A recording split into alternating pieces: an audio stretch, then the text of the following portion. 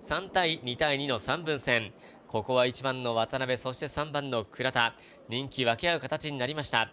前で待つのが北日本勢。後ろから中部勢が動いてまいりました。さあ3番の倉田がゆっくりと上昇開始。